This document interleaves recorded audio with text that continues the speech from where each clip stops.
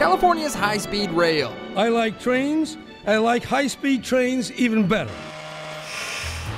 A $64 billion project backed by Governor Brown and passed by voters in 2008. And build it we will, America's first high speed rail system. Today, the project is almost $3 billion over budget and seven years away from completion. But what if I told you that California already has a high speed rail? Uh, yeah, my name is Max Schlienger, initial inventor of the Vector system. That's Vector with two R's, and it's a project that's consumed the life of Max Schlienger. Yeah, it has. It's, it's uh, been a big part of my life.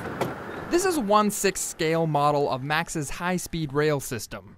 Well, we're designing the full scale to go about 180 miles an hour. Um, this one does about 30. This is Eric Schlienger, Max's son, and he helped build the Vector prototype above the family's vineyard in the rolling hills of Ukiah. We built it specifically to follow highway right of ways. The Vector system was designed to be built on existing infrastructure and run on clean energy. Really clean. What do you have all these vacuums for? You guys got a big mess in here or something? Or? Those vacuums will run this train down the track. It weighs probably about 1,200 pounds or so.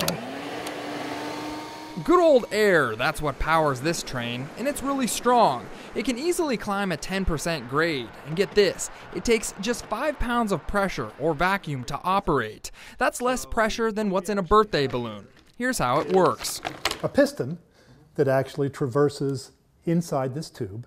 That piston is magnetically coupled, and by applying pressure, and it looks kind of like this. Now, this may remind you of Elon Musk's Hyperloop, but actually, the Vector system is modeled off an 18th century air train that was built by a British engineer named I.K. Brunel. In fact, uh, initially we tried to do the same thing they did.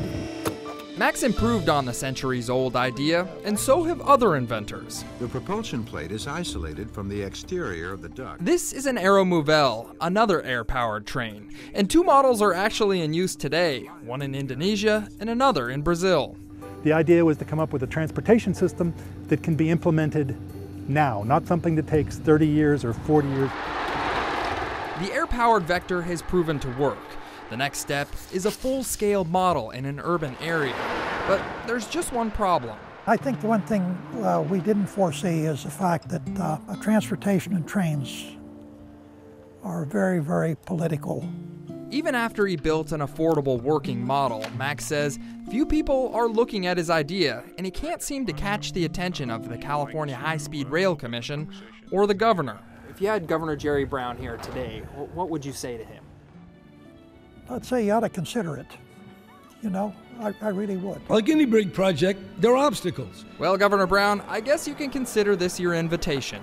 In Ukiah, John Bartell, ABC 10 News. Hey, thanks for watching, and check out more videos just like this. Also, let me know in the comments what you want me to check out next.